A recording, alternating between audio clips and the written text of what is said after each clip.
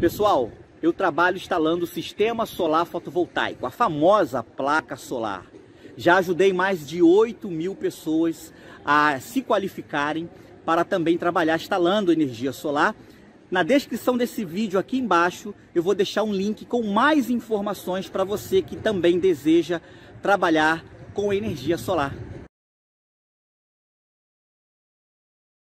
Olá, eu sou Alex Lima, sou instrutor de treinamento, responsável pelo curso de inversores de tensão, a pedido do pessoal aí que acompanha a Elétrica e CIA nas redes sociais.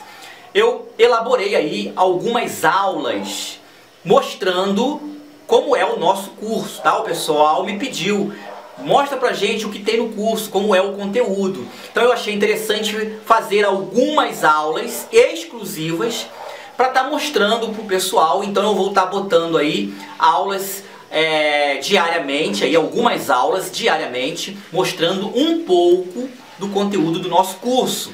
Legal? Hoje nós vamos aprender aqui na minha bancada a fazer, a identificar as etapas de um inversor de tensão. Legal? Porque quando você consegue identificar, conhecer um equipamento, né, o inversor de tensão, cada etapa e entender o funcionamento de cada etapa facilita na hora de você identificar o defeito e automaticamente retificar esse defeito.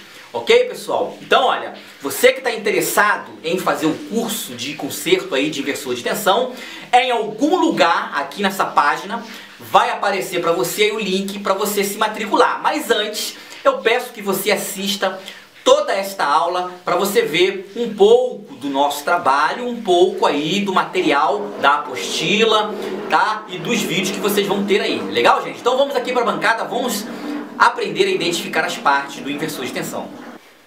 Então vamos lá, pessoal. Olha, na bancada aí, eu já estou aí com é, alguns inversores abertos aí. Esse, esse outro aqui. Olha esse bem pequenininho. E esse outro aqui, tá? Eu vou explicar algumas coisas primeiro para depois a gente entrar na questão de identificar cada etapa. O inversor, os inversores de tensão, eles se dividem em dois grupos. Os inversores de baixa frequência, certo? E os inversores de alta, que trabalha com alta frequência. Os inversores de alta frequência, os inversores comerciais que você encontra na loja para vender, 95% desses inversores são inversores de alta frequência. E aqui na bancada eu tenho os quatro modelos diferentes que são exatamente de alta frequência, inversores comerciais, tá? Inversor de baixa frequência, dificilmente a gente vai achar à venda no mercado.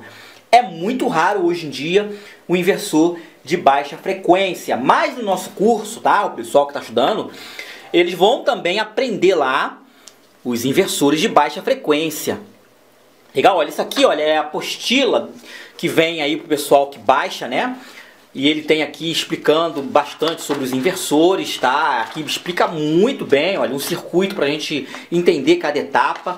E o ponto importante para gente, para essa aula nossa de hoje aqui, é isso daqui, olha, um diagrama em bloco de cada etapa. Tá? Eu vou agora abrir aqui a, a bancada, vou ajeitar a bancada para a gente poder identificar Cada uma dessa etapa aí, deixa eu só tirar aqui todos os equipamentos, vou posicionar a câmera. Legal? Geralmente no curso eu não faço edições, geralmente é na íntegra, tá? É, é eu uso esse, esse método, né, para poder facilitar o estudo da gente aí e não ter nada de edição para atrapalhar. Então vamos lá, olha. Nós temos aqui um diagrama em bloco, tá? Essa é a imagem da nossa apostila caso você venha fazer o nosso curso, você vai ter acesso para baixar esse material. Esse diagrama em bloco, observe, nós temos aqui a bateria, temos esse quadrado aqui que está aqui, olha, deixa eu ver se vocês estão com a visão boa. É o circuito microcontrolado. O circuito microcontrolado, ou seja, é o circuito dos microcontroladores, tá? É, os microcontroladores são circuitos que trabalham com programação, Enfim, eu não vou me aprofundar aqui, como me aprofundo lá nas aulas do curso, para a gente ganhar tempo. Então são circuitos que têm é, programa, ou seja, eles têm lá um, um, um algoritmo que tem algumas funções para fazer no circuito. Então nessa etapa microcontrolada ele tem os osciladores, né? Porque o inversor de tensão ele tem a etapa de oscilação, a etapa de proteção do circuito todo inversor de tensão, seja ele senoidal ou, ou onda quadrada, esses modernos aí comercialmente, eles têm um circuito de proteção. E tem um circuito também PWM ou SPWM. PWM em caso de inversor de onda modificada. SPWM em caso de inversores de onda senoidal pura. Independente do inversor ser senoidal pura ou modificada, a forma de consertar é praticamente a mesma, não tem mudança nenhuma. Legal? Então, olha, a, as etapas de microcontrolada, né, a, o circuito microcontrolador tem geralmente o oscilador, o, a parte que faz o, do, do, oscilador do circuito, etapa de proteção e a, a técnica PWM ou SPWM. Nós temos no inversor de tensão nesse de alta frequência, que é 95% dos casos. Acredito que hoje em dia já possa ter chegado a 100%, porque eu acho que ninguém mais fabrica inversor de baixa frequência, é raro.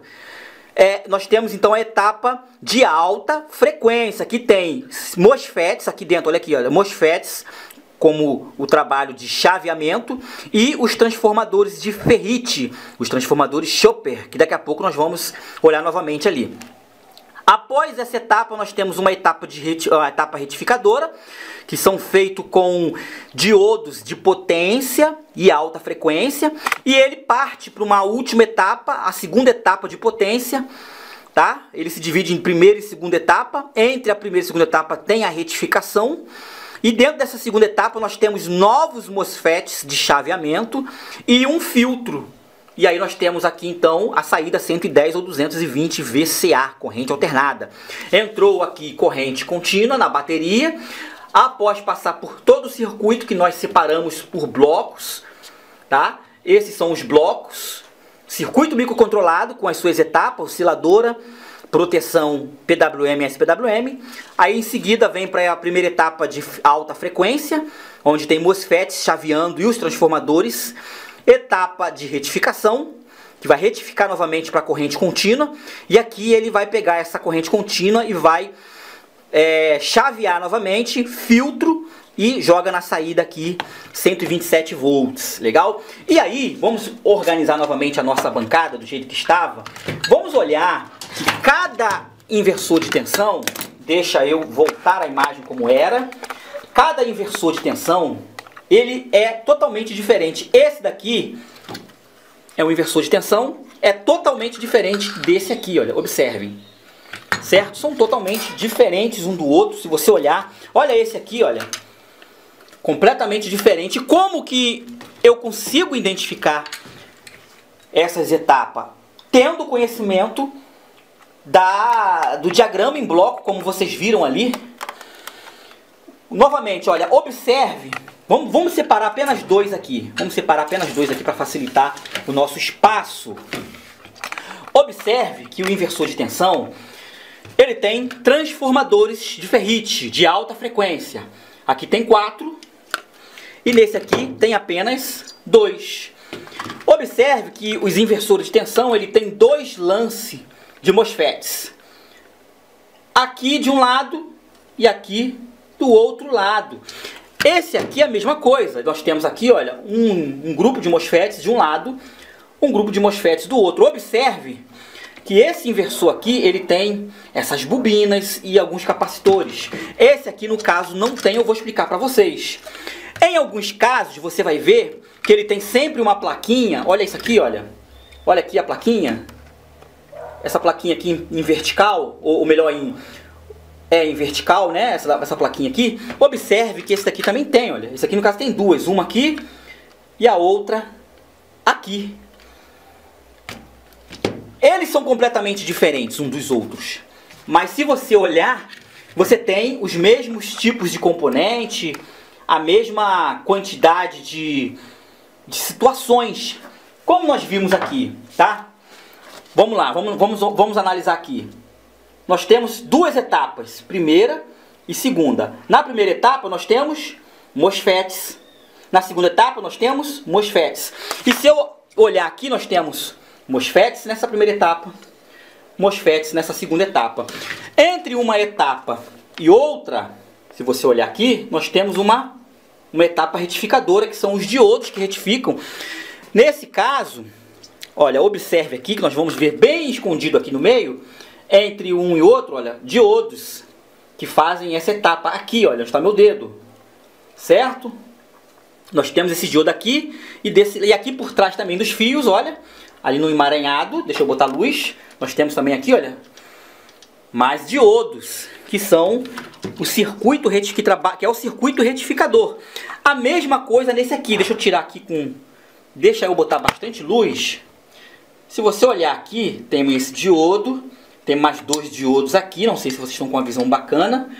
Então, olha só, nós temos circuitos, projetos diferentes, mas todos eles têm aí as mesmas, as mesmas etapas, certo? Para que serve essa primeira etapa aqui? Qual é a função dela? Observe que nessa primeira etapa aqui, deixa eu botar o foco legal. Observe que nela nós temos MOSFETs chaveando e transformador de ferrite. Então nós vamos saber que a primeira etapa seria, no caso, essa daqui, olha. Os grupos de MOSFETs com esses transformadores. É a mesma coisa aqui, tá? Nós temos então a primeira etapa, olha, os transformadores da primeira etapa com os seus transistores aqui, tanto desse lado quanto desse lado. E a segunda etapa, depois que ele passar pelos de outros retificadores, Aí sim ele vai jogar para cá, que são quatro, tá faltando, olha. São quatro transistores que vai fazer o serviço da segunda etapa de potência. Nesse caso aqui, ele é um onda modificada, tá? E esse já foi mexido, aqui tinha uma bobina, tá? Aqui tinha uma bobina que era a bobina de saída do filtro, tá? Nesse caso aqui, essa bobina, ela ainda existe, ela está aqui, olha. Isso aqui é o que? Um filtro de saída. E esse filtro está aqui, ó. Na segunda etapa, na saída dos MOSFETs, depois da retificação, nós temos esse filtro aqui, e aí sim nós temos 127 volts. Olha aqui, olha. Nós temos os transistores da segunda etapa, que joga aqui para o filtro que sai depois, olha, da minha tomada 127 volts. E a etapa microcontrolada que nós vimos aqui, tá? Que tem aqui o oscilador, etapa de proteção. Geralmente, geralmente estão nessas plaquinhas aqui, olha. Que estão, é, que tem todo o circuito microcontrolado. Nós temos aqui um microcontrolador, que é esse aqui onde está a minha chave certo? Isso aqui é o microcontrolador, são dois drives. É ele que tem toda a configuração da proteção, é ele que tem a programação, que vai saber se está com a tensão acima ou se está com uma tensão abaixo, se a bateria está abaixo de 11 volts. Tudinho está aqui dentro. Tá? A mesma coisa esse outro aqui, ó. Nessas placas, essa, tanto essa quanto essa. Observe que o bip de proteção está bem pertinho dela. Ok, pessoal? Então, olha, o correto é você conhecer cada etapa aí do, do inversor. E isso realmente só é através de muitos estudos que você acaba conhecendo cada etapa, tá? Esse material realmente não vai ficar livre na internet. Aqui tem muito mais coisas aí. Você que está interessado em fazer o curso, for fazer o curso aí com a gente, você vai ter lá o link para baixar. Vai te explicar todo o funcionamento. Para consertar inversor de tensão, você precisa entender todo o funcionamento dele, certo? E acredito que dessa forma você consegue agora olhar o seu inversor aí que está com defeito, você que está tentando consertar, e vai entender cada etapa. Volte o vídeo, assista o vídeo novamente, beleza, gente? Olha, Amanhã, certamente, vou estar disponibilizando mais uma aula dessas aulas aí que eu estou mostrando o curso, legal? Então, até lá!